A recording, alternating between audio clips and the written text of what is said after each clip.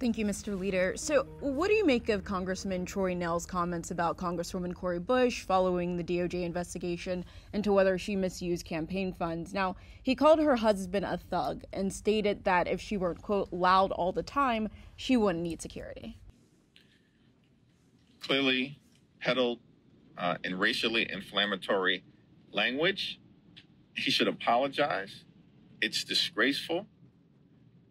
And as far as I know, the person that he called a thug actually served in the United States military,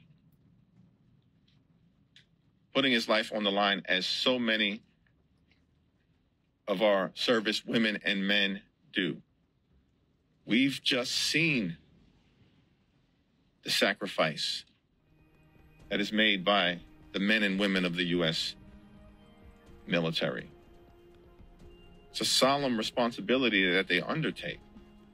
And to casually just throw out language, calling people thugs,